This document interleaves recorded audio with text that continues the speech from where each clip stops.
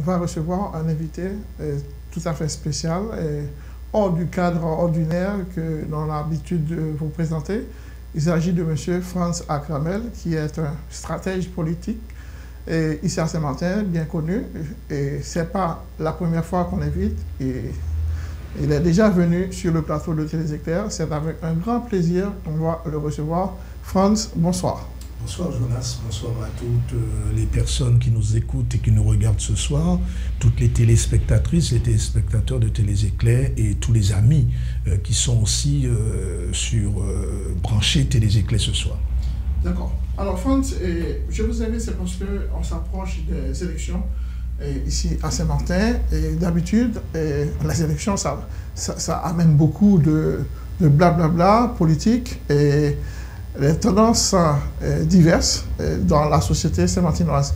Je sais que euh, vous, vous êtes assez connu ici à Saint-Martin dans le monde de la politique. Vous avez déjà travaillé avec certains leaders politiques ici, bien connus, on ne va pas citer leur nom. comment vous trouvez en ce moment la situation politique locale en ce moment ici à Saint-Martin, actuellement? Merci Jonas. Alors, Premièrement, euh, je vais faire une toute petite rectification. Vous avez dit, vous avez dit tout à l'heure euh, stratège. Je ne me considère pas comme étant un stratège. Je pense que être tout simplement quelqu'un qui a la possibilité d'apporter des conseils, euh, d'apporter une vision aussi, ne serait-ce que sur les projets politiques qu'un leader pourrait avoir pour pouvoir faire une offre politique, ce qu'on appelle une offre politique à la population, et, et qui soit comme dirait l'autre, acceptable par rapport à la situation justement de Saint-Martin. Alors, en fait, je dis ça parce que, euh, pour pas faire d'amalgame, euh, je ne veux pas passer pour quelqu'un qui sait, monsieur, je sais tout, je ne suis pas celui-là.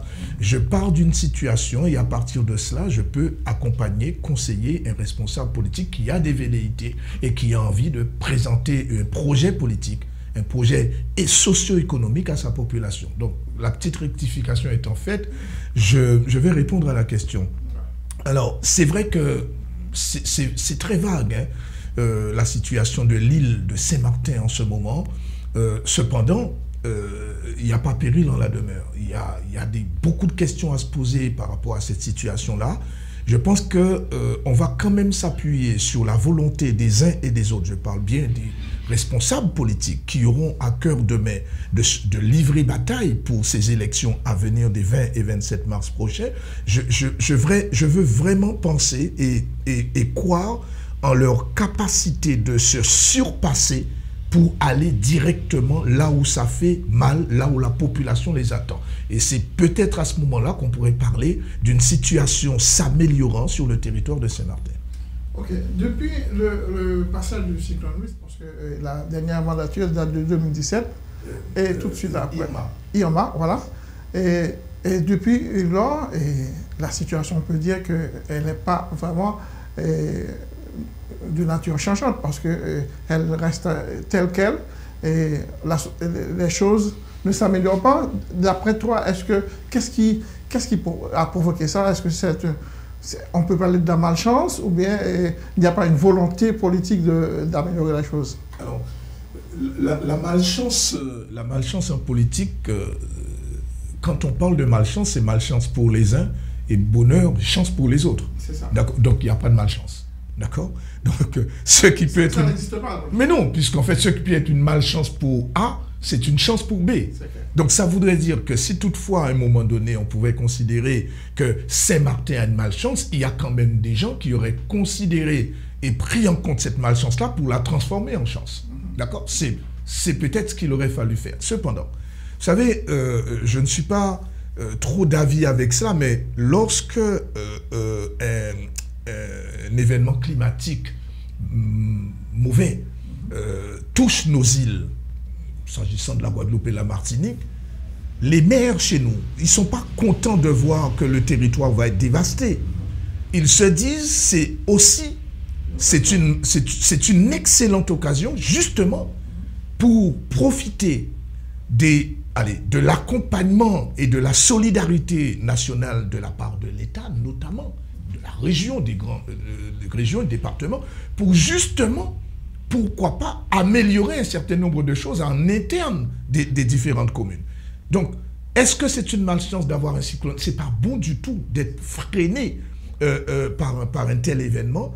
Cependant, ça a offert énormément de chance au territoire de Saint-Martin, aux responsables politiques euh, pluriels, pour justement saisir cette occasion-là. Et lorsque on a chiffré à des milliards, à quelques milliards d'euros de dégâts, ou milliards, je ne me rappelle pas très bien de la somme, c'était aussi un moyen de dire, mais tiens, ce milliard ou ces milliards-là vont nous permettre justement d'améliorer la situation de l'île.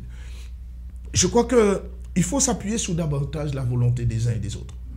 Euh, avons-nous la volonté de changer, mais de changer rapidement, méthodiquement et en bien? C'est la première question. Avons-nous la capacité de changer en bien euh, euh, et rapidement? Ça, c'est la deuxième question. Et avons-nous les moyens de changer en bien et rapidement la situation de l'île? Je crois que ce sont ces trois questions qu'il faudrait qu'on se pose. Alors, lorsqu'on regarde, au regard de ce qui s'est passé ces derniers temps, moi, je peux dire que euh, je me pose la question sur la volonté et les moyens de changer. Les moyens. Ce n'est pas les moyens donnés pour changer, c'est les moyens internes de changer et la volonté de changer.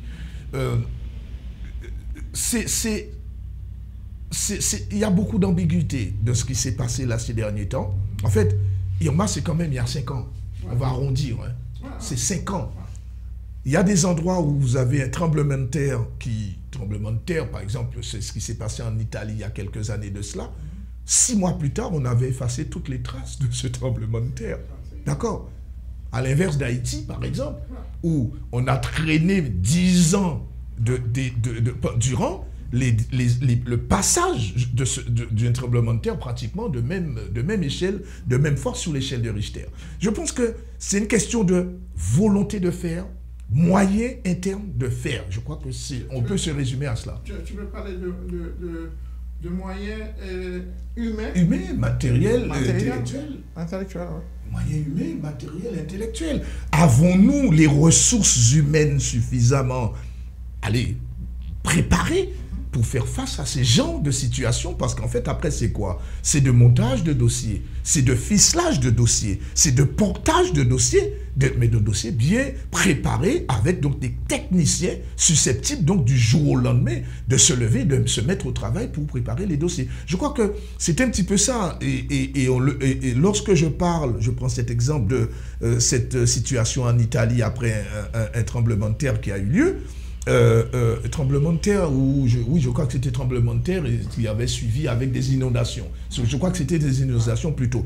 Mais on, a vu, mais c'est quoi? C'est les techniciens de ces zones touchées, ce sont ceux-là qui ont été mis à l'œuvre pour pouvoir justement régler le plus rapidement possible. Justement, euh, je ne vais pas faire l'avocat du diable, mais dans de telles circonstances, parce que le domaine de l'environnement ça revient à, l'État. C'est un privilège accordé à, l'État français. Et il y a eu la visite de, Emmanuel Macron sur l'île, qui a fait son intervention, qui a visité un petit peu partout sur l'île et qui a constaté les dégâts. C'était énorme. Mais est-ce que l'État français lui-même a euh, fait des projections pour réparer tous les dégâts causés par euh, cet événement majeur qui est le cyclone Irma? Alors, c'est facile des fois de mettre tout sous le dos de l'État. Il faut tenir compte de, euh, des compétences qui sont celles des collectivités, collectivités régionales en Guadeloupe, collectivités départementales, collectivités les communes et collectivités de Saint-Martin. Euh, tenir compte des, des, compétences donc données à chacune, données et demandées, parce que vous avez ce que vous avez demandé, s'agissant du territoire de Saint-Martin. En fait, négocier. Ce que vous avez négocié, c'est ce que vous avez. Donc il y a donc des accords qui sont pris. Bref. Lorsque l'État euh, veut jouer la solidarité nationale, le président Macron, effectivement, est venu, à deux reprises d'ailleurs, et euh, la première fois, c'était constater les dégâts. La deuxième fois, c'était pour voir quelles étaient les avancées, compte tenu des différentes réunions interministérielles qui avaient eu lieu, et on avait à penser comme quoi, effectivement, que les choses auraient été beaucoup plus vite. il a constaté à tort ou à raison que finalement ce qu'il attendait n'était pas ça. C'est pas tant euh, là qu'il est la question. La question est de savoir est-ce que avec les compétences de la collectivité, euh, on doit tout attendre de l'État, sachant bien entendu que le domaine s'agissant de l'environnement, donc euh, c'est au-delà. il y a des compétences partagées. Mais au même titre qu'il y a des compétences partagées, les deux institutions, l'État et la collectivité de, Saint-Martin, sont sur le même territoire.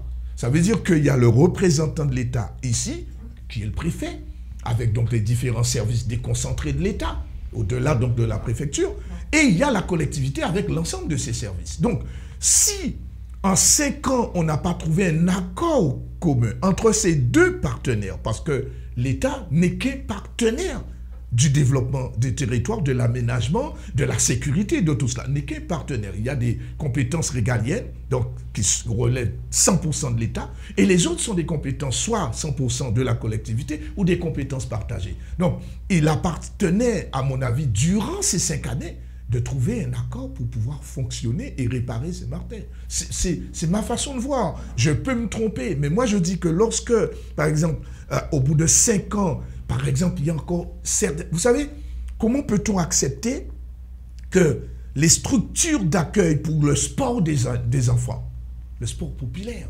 c'est-à-dire ce qu'on appelle le tout venant, c'est pas de sport d'élite, c'est le sport du tout venant, c'est-à-dire vraiment permettre à ce que chacun puisse faire un tour de piste, que le papa et la maman puissent prendre le petit sur un vélo ou alors faire du football pour s'amuser. Ce sont ces structures qui, qui ne sont toujours pas réparées. Donc, non, mais c'est la base même du fonctionnement d'une collectivité c'est donner les moyens à la population du bien-être, les moyens de bien-être. Or, les moyens de bien-être, ça commence par le sport, les ceci, les loisirs, les, voilà, et salles de spectacle. Combien même on a eu. c'est le domaine qui revient normalement à la. C'est de ça que je parle. Cette médiathèque, c'est de la culture.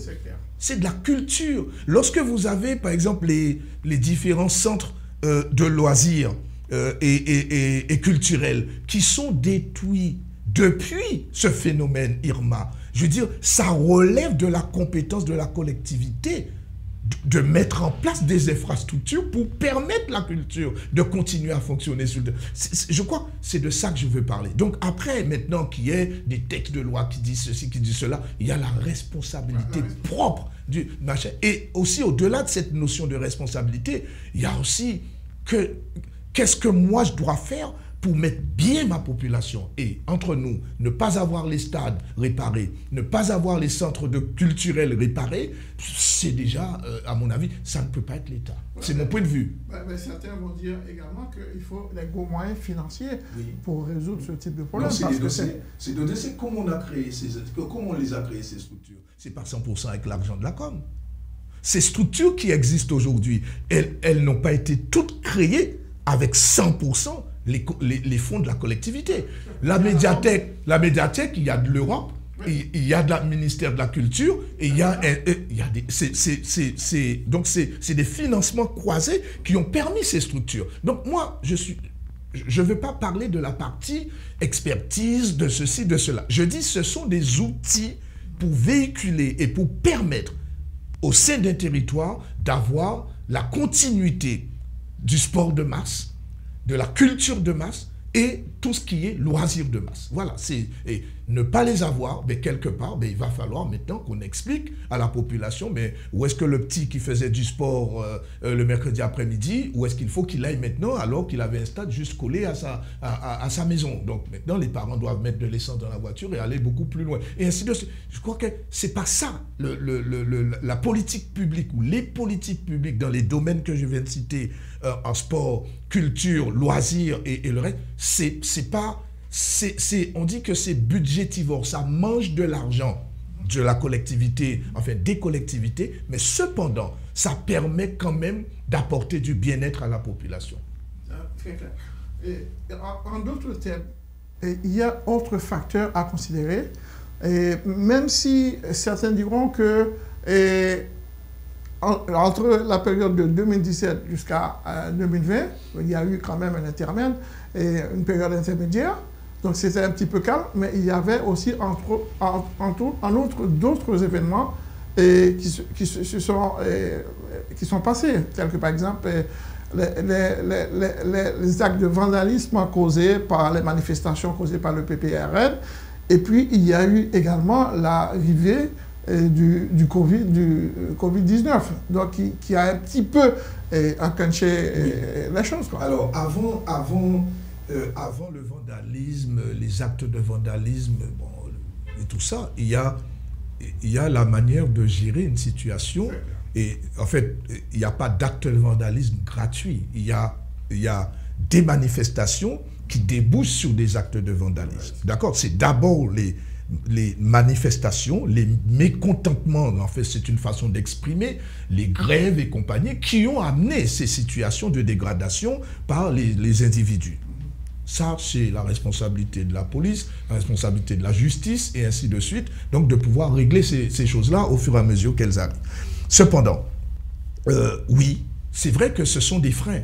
Ce sont des freins. Mais en fait, euh, euh, la Covid-19 ou le Covid-19, on n'y peut rien.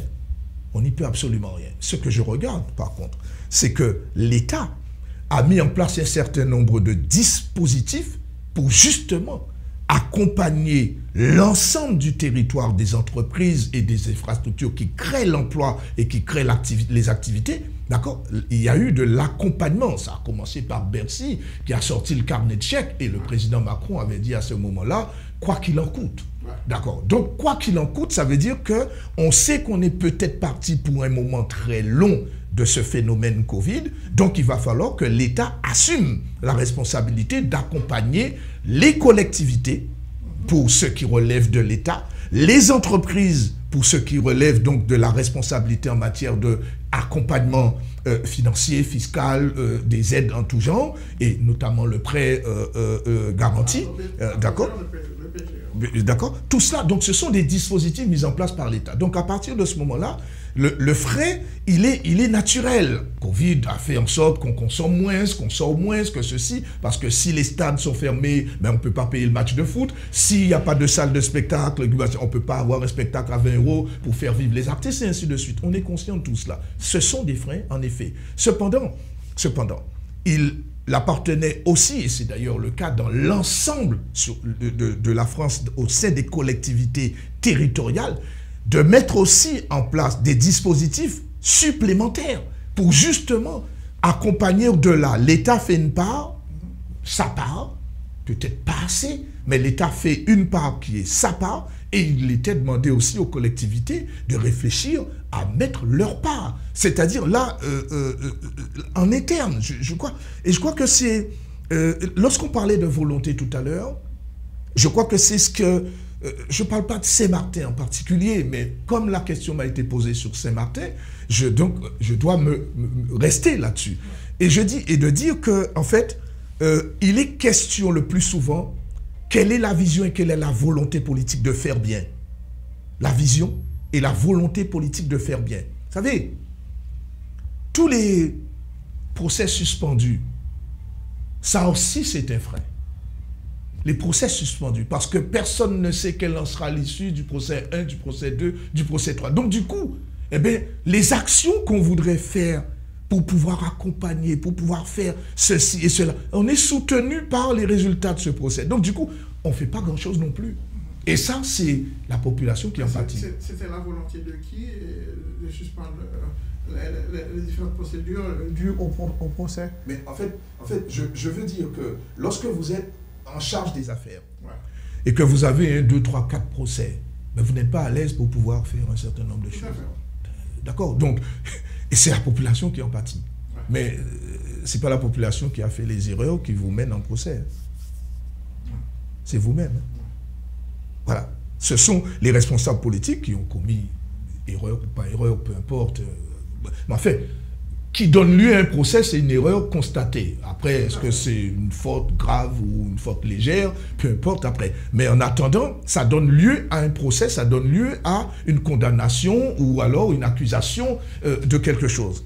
Il tu, veux, tu, veux, dire à ce moment-là, et ça a, handicapé le bon déroulement des choses de l'administration Forcément, parce qu'en en fait, on est frileux. Mhm on est frileux. Je veux dire, vous êtes menacé de condamnation. Ben, je veux dire, vous êtes moins en train de faire des choses, de mettre en place des choses. Donc vous attendez, non pas patiemment, mais vous attendez, vous êtes, euh, êtes attentif à ce qui va pourrait se passer dans deux mois, dans trois mois, dans cinq mois. D'autant que la plupart de ces procès ont été repoussés à plusieurs reprises. Donc autant de fois qu'on n'est pas en action justement pour mettre en place des choses. Justement, et, et France, revenons un petit peu sur et le PPRN. Est-ce que euh, ça a fait pas mal de bruit ici? Par le fait que euh, la préfecture était vraiment euh, a pris des décisions qui, qui allaient à l'encontre des intérêts de certains ici à Saint-Martin. Est-ce que tu penses que ce problème est définitivement résolu? J'ai vu tout récemment que certains pourraient à nouveau donner un avis sur si, alors résolu, alors on peut se poser la question, mais concrètement, qu'est-ce qui empêche de se mettre d'accord sur un projet d'aménagement, de gestion, parce qu'il s'agit de ça, de savoir euh, qu'est-ce qui est important aujourd'hui à préserver en termes de parcelles, en termes de zones, qu'est-ce qui est important à préserver, à préserver pourquoi, d'accord? Si on fait valoir correctement que telle chose est à préserver. Et qu'on est d'accord sur la vision à long terme, sur les 30, 40, 50, 70 années à venir, si on est conscient que cela pourrait générer des dysfonctionnements climatiques ou je ne sais quoi, ou engendrer des inondations qu'on n'a pas forcément besoin, ou provoquer des autres catastrophes naturelles, si on est tous conscients que c'est un risque, ben, il ne faut pas le faire. D'accord? Mais si on mesure que comme quoi le risque n'est pas si évident que cela. Mais il faut encore, il faut du bon sens. Et je crois que ce qui a manqué, c'est véritablement cette notion de partenariat. Il y a eu des experts quand même. oui, mais, oui, mais ça n'empêche que c'est un bras de fer entre la collectivité d'un côté et les services de l'État de l'autre. C'est ça. C'est je dis bras de fer. En fait, c'est, c'est, euh, je suis d'accord sur ça, je suis pas d'accord sur ça. À un moment donné, il faut, vous savez, c'est, comme une guerre. Euh, on commence, on commence une guerre, mais il faut, il faut aussi être en mesure de la terminer. Parce qu'en fait, je la fais pour moi parce que quelque part, je veux ce bout de terre, ce bout de terrain parce que la mer ne passe pas chez moi et j'ai besoin d'accès à la mer. Donc, je fais une guerre au pays qui a cet accès à la mer. Mais à un moment donné, ok, j'ai eu une partie de ce, de, ce bout de terre qui me donne accès à la mer. Mais il va falloir que j'arrête la guerre. Parce que je ne vais pas faire la guerre éternellement, sachant que je suis en train d'anéantir toute ma population sur les 10, 15, 20 ans à venir. Je, crois qu'il faut à un moment donné de l'intelligence autour de, autour de la table des négociations. Mais, bien sûr. Ah, ne fait pas de politique. En fait, normalement. L'État ne fait pas de politique. Lorsqu'on nomme un préfet, le préfet il vient représenter les intérêts, représenter les intérêts de l'État dans ce territoire. Donc, le maire qui est élu par les administrés, les électeurs de la commune, le maire devient dès lors un partenaire de ce représentant de l'État. Donc des fois, on peut ne pas être d'accord sur une vision ou sur une démarche particulière. On peut ne pas être d'accord entre deux partenaires. Mais l'intérêt des deux, c'est de trouver un accord le plus rapidement possible parce qu'il y a les intérêts de l'État sur le territoire et les intérêts de la population dans le territoire, et représentés par le maire. Donc je crois que c'est... Le, bras de fer, selon moi, n'a fait que, justement, c'est les aussi des frais qui auraient permis, qui n'auraient pas permis à ce que certaines choses qui auraient dû être faites durant cette période après Irma soient faites en cinq ans. Ouais, c'est vrai on essaie d'étudier ensemble les événements qui ont succédé et qui, n'ont pas permis à la collectivité de, bien mener les choses pour que la société soit entièrement satisfaite. On a parlé du cyclone Irma, vraiment, qui a provoqué pas mal de remous. Et puis, on a parlé du PPRN. Et puis, la COVID-19, et, France. Donc, quels sont... C'est vrai que l'État a bien joué son rôle, mais il y a eu quand même euh, des séquelles de, cette Covid sur la société. Alors, je n'ai pas dit que l'État a bien joué son rôle, j'ai dit que l'État a mis en place des dispositifs susceptibles d'accompagner au mieux, au mieux, donc les difficultés qu'allaient rencontrer et les collectivités et les entreprises qui créent l'emploi et les richesses dans les territoires. D'accord? Donc, alors, bien sûr que c'est un phénomène énorme. Il ne faut pas le négliger. Bien sûr, qui ne concerne pas que Saint-Martin. Mais lorsque on est l'île de Saint-Martin, on connaît la, le principal, allez, on va dire la principale activité économique de ce territoire, qui est le tourisme. D'accord? Parce que, euh, enfin, le choix a été fait, c'est le tourisme. Et puis, tout s'y prête pour que ça soit le tourisme. Cependant, lorsque pour des raisons de santé publique qu'on interdit à certains de venir ici sans ceci, sans cela, et qu'il y ait ce grand confinement mondial. Parce qu'on a connu ce phénomène de confinement mondial. Durant ce confinement, personne ne se déplace. Donc, beaucoup de manque à gagner pour les professionnels du tourisme, qu'il s'agisse des hôtels, donc les hébergeurs, les transporteurs, les restaurants, tous ceux qui vivent du tourisme d'une manière directe ou indirecte sont impactés systématiquement. Donc, bien sûr que ça, c'est la conséquence directe du fait que les gens ne se déplacent plus comme avant. C'est une certitude. Il n'empêche que depuis euh, euh, une fois qu'on a constaté ça, moi, ma question à moi, c'est entre-temps, entre-temps, qu'avons-nous fait comme réflexion, qu'avons-nous apporté comme dispositif nouveau qui pourrait permettre à ce que si demain nous sommes confrontés au même phénomène, est-ce qu'on a mis en place quelque chose qui pourrait se substituer à ce tourisme dont dépend Saint-Martin à 99%. Je crois qu'il faut, parce que ça aussi c'est la responsabilité directe des responsables politiques qui ont en charge le territoire. tu veux dire qu'il faudrait que les politiques trouvent un autre moyen de, substituer au, système du tourisme ici à Saint-Martin mais, mais, alors, quelles sont les ressources possibles? Il faut se poser la question. C'est-à-dire, vous, vous êtes père de famille. Je veux dire, vous, vous, vous aujourd'hui, vous allez chaque jour travailler chez X. C'est là que vous gagnez votre salaire qui vous permet de nourrir et de subvenir aux besoins de votre famille et de la soigner correctement. Demain, vous perdez cet emploi vous n'avez pas prévu forcément quelque chose d'autre. Puisque vous avez cette habitude d'aller travailler là chaque jour et de gagner à la fin du mois votre salaire. Demain, vous avez cette difficulté, l'entreprise ferme ou alors l'entreprise met en place ce qu'on appelle donc décrissage et licencie quelques personnes. Mm-hmm. Euh, euh, il y a bien entendu obligation pour vous de trouver quelque chose d'autre à faire. Parce que vous ne pouvez pas vous dire, je suis au chômage, on m'a viré, euh, euh, mon entreprise a fermé, a licencié 50% de, de l'effectif. Qu'est-ce que je dois faire? Puisque vous devez quand même continuer et à vous nourrir, à nourrir vos familles et à la soigner. D'accord? Donc, vous rentrez en réflexion. Pendant ce temps, est-ce qu'on est rentré en réflexion? Et là, je sais que il y a eu des travaux qui ont été faits au niveau du Conseil économique, social et, euh, environnemental au niveau national, où on leur a demandé donc de réfléchir à euh, un nouveau plan touristique au niveau national et qui concernerait directement l'ensemble du territoire, l'ensemble du territoire, y compris les Outre-mer, y compris les Outre-mer. Donc, cette réflexion-là a été menée, mais en interne aussi, il faut mener des réflexions. D'accord? Le tourisme, c'est une chose, donc indéniablement, il faut qu'on s'appuie là-dessus.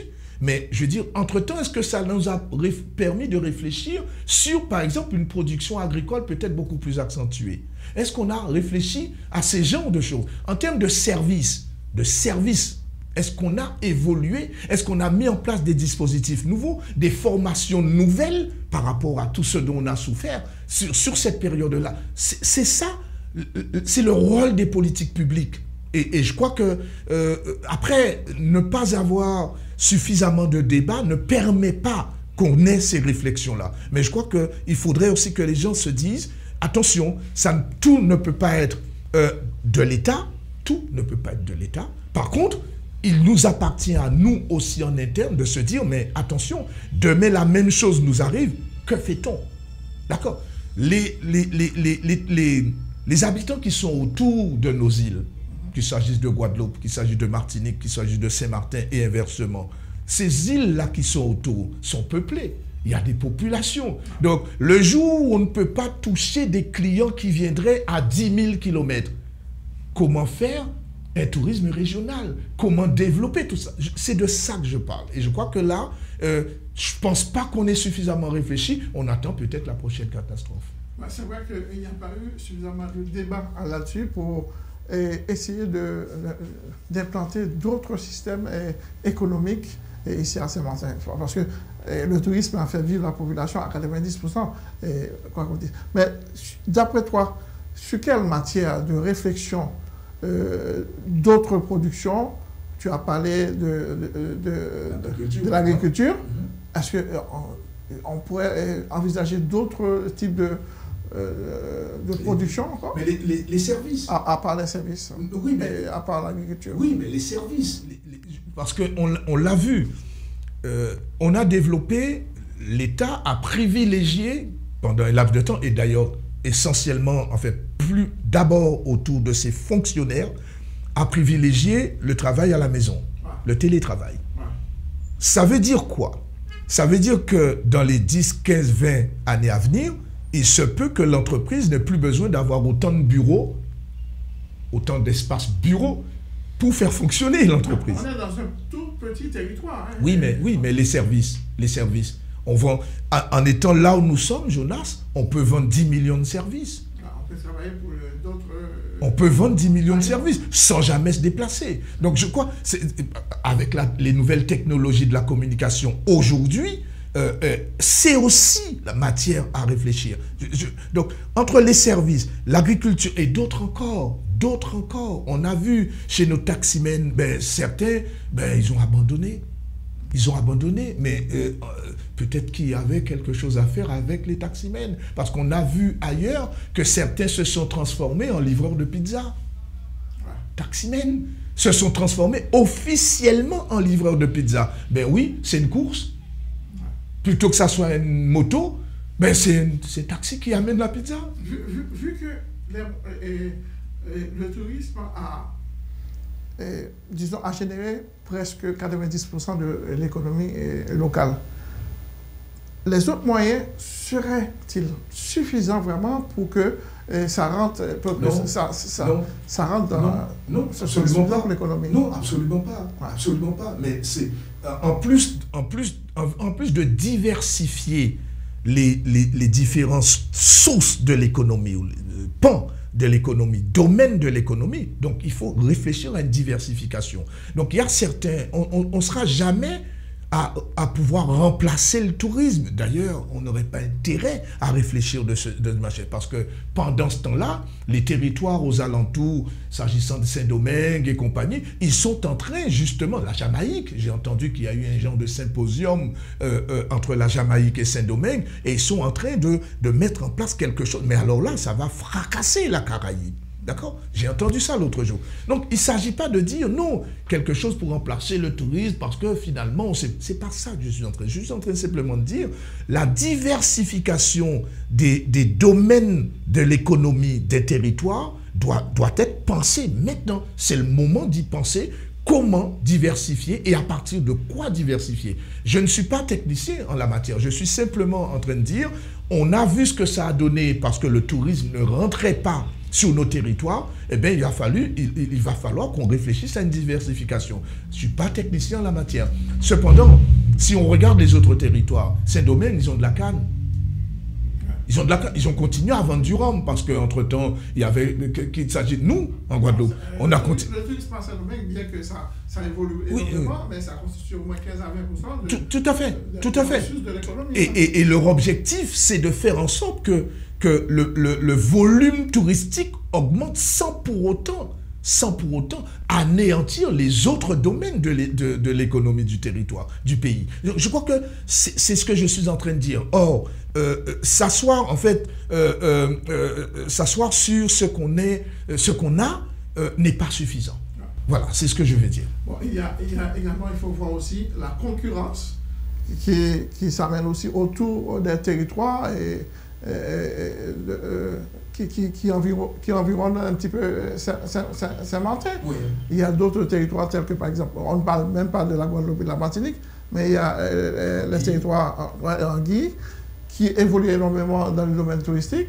Donc ça affaiblit un petit peu euh, la capacité de Saint-Martin de, de, dans la production touristique. Oui. pourquoi pas Parce que bon, le tourisme également, ça, ça engrange l'hébergement, faire, faire des, des, des, maisons capables de recevoir des touristes, ou par exemple le système de Airbnb, etc. Donc ça pourrait un petit peu, je ne sais pas si on peut travailler là-dessus. Oui, mais on a l'outil qui est la SEMSAMA. On a cet outil qui est la SEMSAMA. Je dis en matière de logement, en matière de logement, je dis bien de logement, je ne dis pas de logement social. En matière de logement, l'outil de production, c'est la SEMSAMA pour la collectivité de Saint-Martin. Je ne suis pas technicien. Je ne suis pas technicien. Je ne suis pas technicien. Qu'on ne me demande pas, moi, de pondre quelque chose à partir de ce que je dis. Cependant, je lance des pistes. Je dis simplement, la SEMSAMA est un outil de réflexion. La SEMSAMA est un outil de réflexion. Et on connaît l'organisation administrative de la SEMSAMA qui est davantage saint-martinois que tout le reste. D'accord Donc, c'est un outil. Utilisons cet outil-là à réfléchir justement en matière d'hébergement. Peut-être bien qu'on va demander à la SEMSAMA de produire des logements de type sociaux. La SEMSAMA construit des stades. La SEMSAMA construit des, des EHPAD. La SEM-SAMAR peut construire euh, des routes, la SEM-SAMAR peut construire, euh, je ne sais pas. Je dis simplement, lorsque vous avez un outil en main, je veux dire, ça s'appelle un marteau, alors ça aide, ça permet d'abord d'enfoncer des clous, mais l'autre côté du marteau permet d'arracher les clous. Voilà ce que je dis. Donc, si euh, c'est un outil, donc, est-ce que l'outil, c'est uniquement pour enfoncer les clous, pour donc mettre le toit, mais aussi ça nous aide à enlever le clou il faudrait qu'on sache qu'il y a deux côtés sur le marteau. Venons-en euh, en ce moment, euh, France, aux élections. Très prochainement, et il va y avoir normalement une autre mandature à la, tête de la collectivité. Que ce soit le, renouvellement de M. Daniel Gibbs qui est déjà là, ou bien une autre mandature. D'après vous, est-ce que parmi ceux qui se sont déjà présentés en ce moment comme de futurs candidats.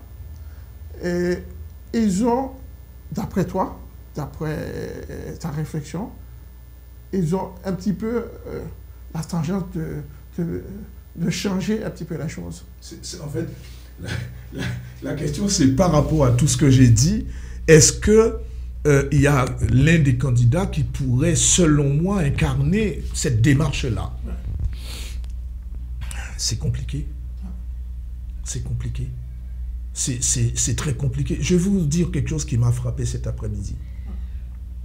C'est juste un petit truc. J'étais sur Sandigone cet après-midi, avant de venir euh, ce soir en studio. Et j'ai vu un groupe de jeunes, très jeunes coureurs cyclistes, des gamins, entre 7 et 12 ans. Maxi. Il est tout petit. Ils sont garés, ils attendaient donc l'heure pour pouvoir partir sur le terrain, sur la route. Donc, et puis faire quelques coups de pédale avec donc leur coach qui les accompagne et les encadre. Dans le même temps, dans le même temps, je vois toute une série d'allées et venues de moto sur une roue. Sur cette route que les gamins de 7 à 12 ans vont emprunter pour justement se donner au loisir qu'ils ont choisi, au sport qu'ils ont choisi, le cyclisme, le vélo. Je me suis posé une question, une seule. Comment voulez-vous sortir des champions de cyclisme demain à Saint-Martin? Il y a quelque temps de cela, j'étais sur un autre territoire, une autre, une autre zone j'ai vu des motos sur un terrain de foot. Alors si moi je le vois, ce que j'ai dit avoir vu cet après-midi, ce que j'ai dit avoir vu il y a quelque temps sur un terrain de foot, il y a plus que moi qui le vois.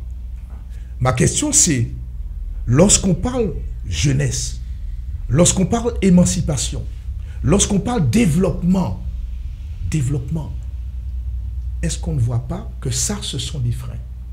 Parce que lorsqu'on sort un champion, un Thierry Henry, un Kylian Mbappé, ou je ne sais pas, pour la Guadeloupe, Lilian Thuram, pour ne, pas, ne citer que ceux-là, ils ont eu tous les moyens nécessaires en Guadeloupe, Marie-Josée Pérec. Sur le stade à Basse-Terre, il n'y avait pas de vélo qui pendant que Marie-Josée Pérec faisait le tour sur la piste, il n'y avait pas de vélo sur la piste, il n'y avait pas de moto sur la piste. Donc les parents de Marie-Josée Pérec avaient la tranquillité lorsqu'ils confiaient leur enfant aux accompagnateurs qui ont pris en charge Marie-Josée Pérec et on sait ce qu'elle est devenue aujourd'hui. Je crois que voilà ma réflexion. Donc, est-ce qu'il y en a un, j'ai pas entendu un seul parler de ces choses. Ce sont des choses pour moi essentielles. Ce gamin-là qui a entre 7 et 12 ans, je crois que c'est grand maximum 12 ans qu'ils avaient, grand maximum, mais il y avait des tout petits. Ces gamins-là, les parents les confient à un coach. Et sur la route qu'ils vont emprunter, tu as une cinquantaine de motos qui font des allers-retours sur une roue. Une des motos s'échappe. D'accord? Rentre sur le petit peloton composé de gamins on crie au drame. Pourquoi on crie au drame? Sachant qu'on n'a rien mis en place comme dispositif pour que cela n'existe pas. Je dis rien, ça peut être des pistes appropriées, ça peut être des lieux appropriés. Je ne sais pas, ce n'est pas mon job, hein, d'accord? Je ne fais que constater. Alors, moi, ma réponse à moi, c'est que je me pose la question, qui l'a vu et qui l'a dénoncé? Je, pense avoir répondu à cette question. Euh, parce que si on parle d'économie, moi, ce n'est pas ce qui m'intéresse uniquement. D'accord? Si on parle de développement culturel, ce n'est pas ce qui m'intéresse. Tout m'intéresse. Et à partir de l'exemple que je viens de vous donner, de ces gamins qui sont des futurs cyclistes, qui porteront les couleurs du VCG ou de je ne sais pas de quel club, et qui seront amenés, qui auront peut-être envie de ressembler à ceux qui ont gagné des courses, des grandes courses. D'accord? Il faut se poser la question depuis quand quelqu'un de Saint-Martin originaire a gagné le Tour de Guadeloupe ou a gagné deux, trois étapes sur le Tour de Guadeloupe, qui est prestigieux de plus en plus aujourd'hui. Je crois que c'est ça. Voilà. D'après toi, pour gagner les élections en ce moment ici à Saint-Martin, quelle serait la meilleure stratégie? Est-ce qu'il est qu'il faut, par exemple, forcément critiquer l'équipe en place pour les réalisations qui n'ont pas été faites, ou bien présenter des projets assez viables qui pourraient quand même eh, amener la population sématinoise à s'intégrer eh, dans, le parti ou bien aller voter pour, pour, le, pour le, parti qui, qui, présente les projets. L'autre jour, euh, on m'a posé, posé à peu près cette même question sur, euh, sur une radio de la place et j'ai apporté une réponse très claire. Euh, étant donné qu'on a confisqué le débat, les débats d'idées n'existent pas sur ce territoire. Les débats d'idées, télévision, radio, fusée, peu importe, d'accord? Radio, télé, ça n'existe pas. Ça veut dire, moi je viens là, je viens là, je suis chez Télé Éclairs et je dis ce que je veux. Et donc les gens vont dire, ouais, Gramel, t'as entendu, ouais, il a parlé bien, je vais voter pour lui. Ouais, d'accord, ok je n'ai pas été confronté à un candidat adversaire qui m'aurait dit, mais monsieur, ce que vous dites là, vous allez le réaliser comment? Avec quels moyens? Vous savez très bien que les textes euh, en matière de la loi X machin, ou alors l'article qui dit que nous ne pouvons pas parce que ce n'est pas. Personne ne contredit personne. D'accord? Donc, je pense que il faut partir de zéro. Il faut repartir à zéro et se dire qu'est-ce qui intéresse aujourd'hui l'électeur et le Saint-Martinois? Il y a les deux, hein. l'électeur, mais celui, il y a un électeur qui ne vote pas, qui n'est peut-être pas en âge de voter, d'accord, ou que ça n'intéresse pas de voter. Donc l'électeur et l'habitant de Saint-Martin. Qu'est-ce qui l'intéresse aujourd'hui?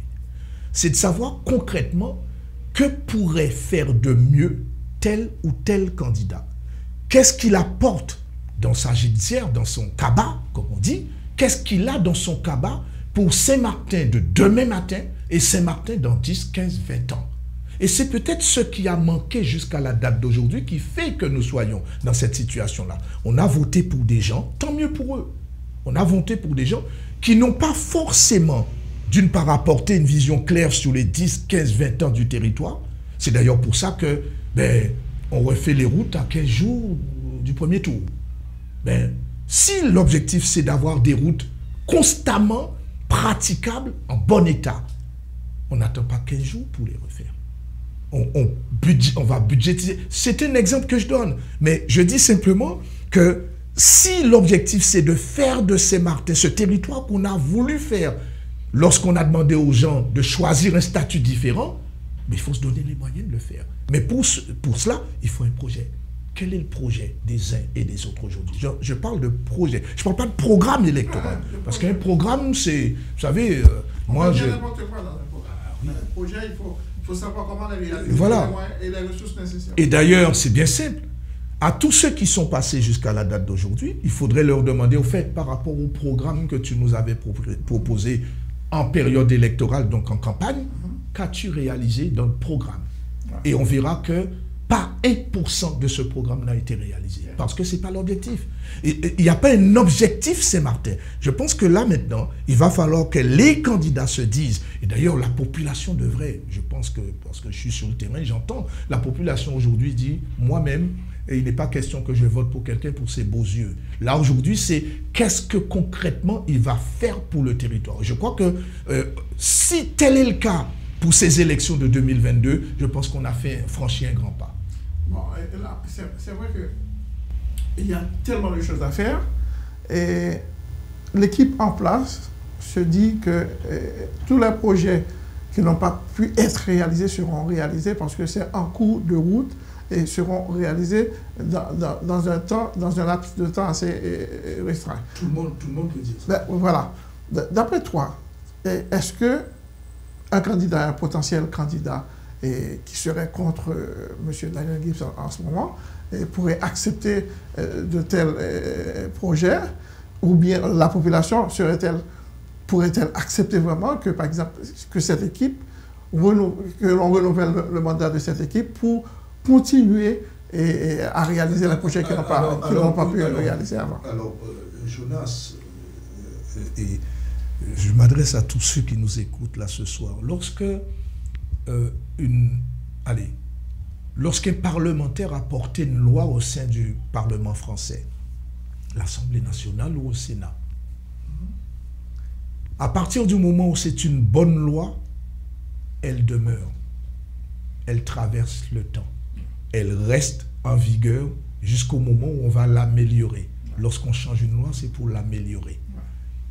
Si, par exemple, il y a un certain nombre de projets que porte aujourd'hui, que portait l'actuelle majorité, et que ces projets-là sont aujourd'hui en phase de réalisation, donc, en projet. C'est nécessaire et c'est normal que s'il y a une alternance qui se fait à la fin du mois de mars, ça me paraît normal pour le bien de la population de Saint-Martin hein. que ce projet-là soit mis en œuvre et réalisé par celui. C'est par exemple, je sais pas, une école. Une école, c'est un projet. D'accord Alors, je vais dire non, finalement, je vais peut-être donner un autre nom à l'école.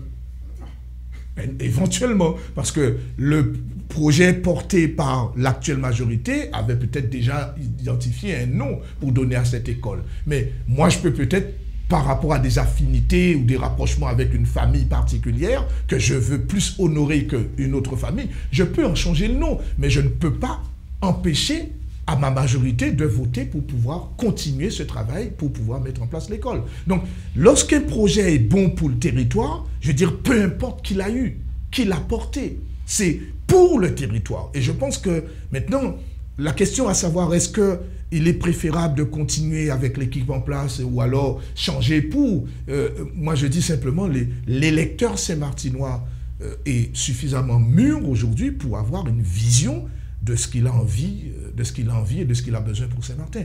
Je pense que ben, chacun est libre et a compris euh, euh, le, ce, qui, ce qui serait mieux à faire. Est-ce qu'il faut garder l'équipe et lui donner sa possibilité, les chances donc de continuer son, son en fait, c'est pour ce projet. Oui, une deuxième chance. il y a bien l'école de la deuxième chance. ma foi, pourquoi pas, pourquoi pas.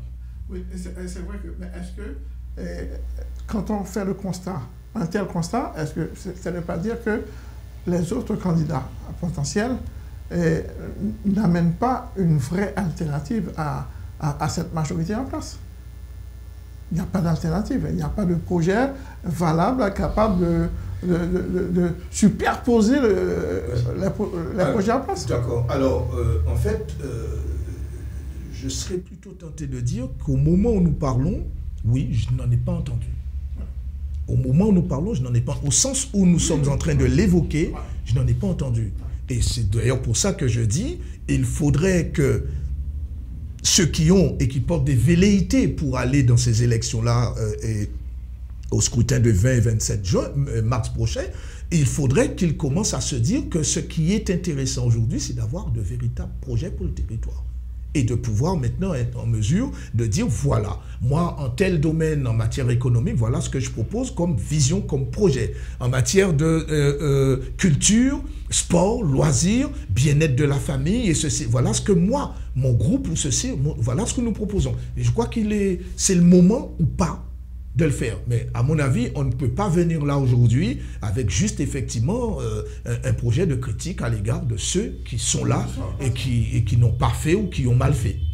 Est-ce que n'est-ce pas la raison pour laquelle également qu'en ce moment, si on fait un, sondage, on trouve toujours cette majorité en place et toujours à la tête des sondages Parce qu'il n'y a pas d'alternative euh, valable alors, euh, déjà parce que déjà parce qu'il y a une multitude de candidats potentiels. Donc forcément, euh, ça joue sur le pourcentage d'intention de vote. D'accord? S'il y a deux candidats, deux euh, potentiels, le, le, je pense que les, comment s'appelle, serait forcément, tout dépend. Tout dépend de qui est l'autre candidat. Mais cette multiplicité, donc ce nombre par je ne sais pas combien de candidats, je veux dire, ne joue pas forcément en la faveur de ceux qui ont velléité donc de se présenter. D'après toi, il faudrait réduire le nombre de candidats ou bien euh, faire euh, que les candidats soient, soient, mis ensemble pour, que, pour, pour, dépasser un petit peu leur ego et se mettre ensemble, euh, d'après toi? Mais tel ne sera pas le cas parce que tu connais bien la situation politique. Le seul endroit, d'après ce que je sais euh, et que j'ai appris de, je veux dire, aux côtés donc des, de ceux qui ont fait la Guadeloupe euh, hier, j'ai eu la chance de les côtoyer, euh, ces grands politiciens de Guadeloupe. Ils m'ont appris que 1 plus 1 en politique n'est pas toujours égal à 2. 1 plus 1 en politique n'est pas toujours égal à 2. Donc, les additions ne sont pas toujours des additions. En, politique, bien sûr, en mathématiques, oui. En politique, pas forcément. Donc, l'histoire, le projet d'union, faudrait-il encore qu'on sache exactement s'unir avec qui et pourquoi? S'unir avec qui et pourquoi? C'est la question que je pose savoir pourquoi on s'unit. Autour du même projet, mais il y a des sensibilités politiques également. Ceux qui sont un petit peu, qui se disent à gauche ou bien au centre ou bien à droite, tout ça, ils ne peuvent pas s'unir. S'agissant de Saint-Martin, je ne sais pas si on peut parler de sensibilité politique. Je crois que euh, euh, on, dit les choses sans vraiment y être attaché aux valeurs portées par gauche, droite, centrisme, euh, je pense qu'on n'a pas du tout accroché réellement à cela. Euh, et, c'est peut-être peut ce qui est peut-être dommage, parce qu'en fait, il y a des valeurs portées de part et d'autre, euh, qu'il s'agisse de la gauche, de la droite, du centre, des verts, écologie et compagnie. voilà. On, en, on, en, parle, mais à mon avis, ce n'est pas suffisamment ancré dans la réflexion et dans le débat politique sur ce territoire-là. Il y a une toute dernière question à évoquer avec toi également, et parce que tout ça, ça rentre dans, euh, les stratégies politiques et, France, telles que par exemple, il y aura les élections pour les députés et les sénateurs, c'est un petit peu plus loin. Mais est-ce que les candidats ne pensent jamais, parce que ça va se réaliser dans la même année, au, cours du mois de juin, je crois, après tout de suite après les élections présidentielles? C'est cela. Donc, est-ce que forcément le rôle du député qu'aura à Saint-Martin ne jouera pas un rôle prépondérant pour la survie de la majorité qui sera en place ici, à Saint-Martin Oui, en fait, et vous avez commencé par dire que certains ne donnent pas suffisamment d'importance à ces élections-là. Ils, y donnent de l'importance au moment de l'élection. C'est ça. Et c'est un tort. C'est un tort. Parce qu'en fait, euh, d'ailleurs, euh, certains n'y pensent pas, mais Daniel Gibbs y pense. Il a été lui-même député et il sait quel rôle qu'un parlementaire peut jouer euh, en faveur des territoires donnés.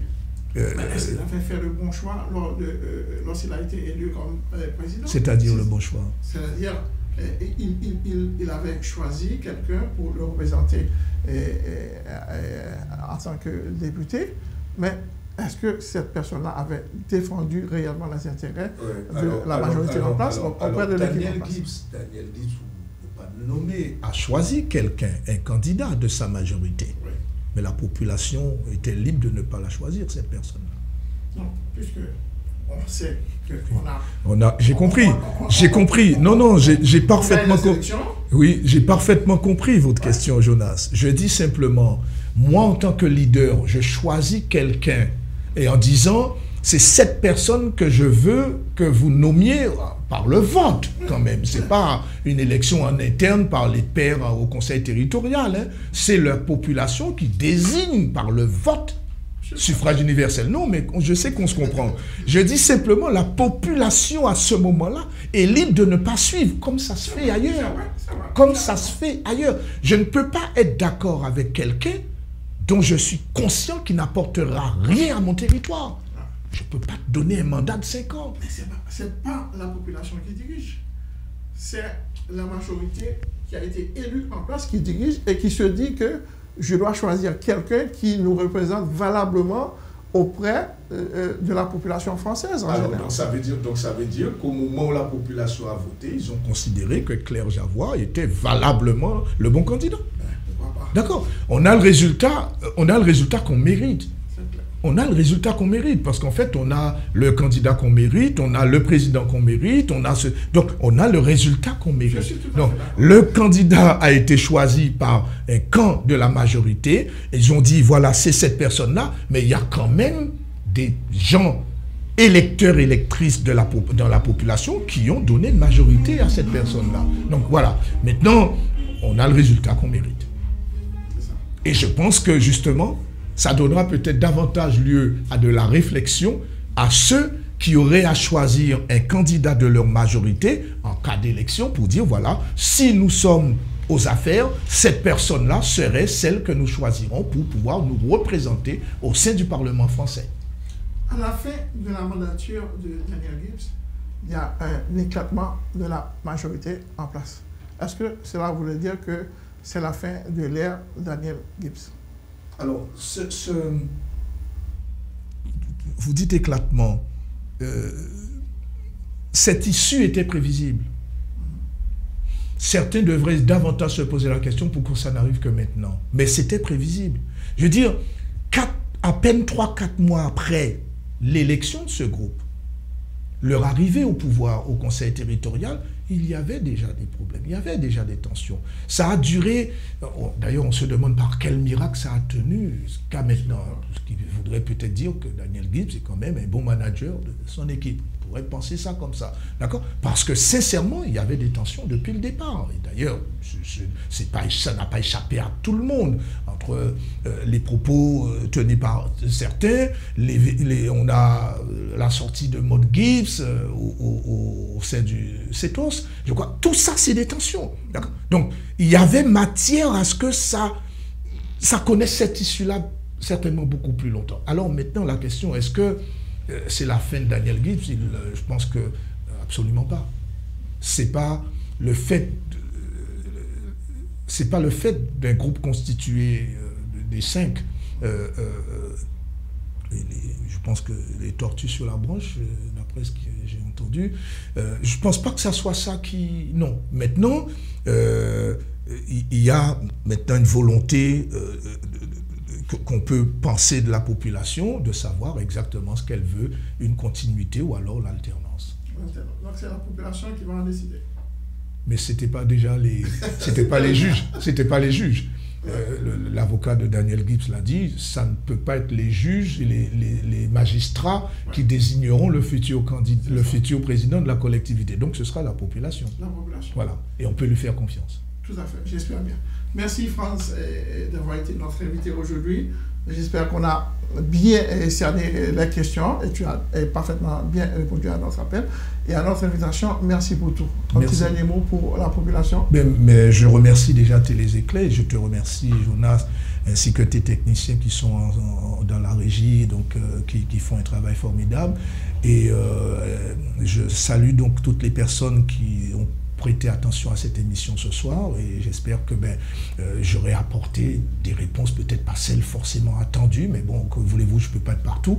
Euh, j'ai apporté les réponses que j'ai jugé nécessaire d'apporter et j'espère que ben, ça donnera matière à réflexion à certains d'entre nous. Merci Franz et merci à tous ceux qui nous ont regardés. Donc on aura d'autres invités encore à vous présenter sur le plateau de l'Hôtel des Éclairs. Bonne soirée et à bientôt.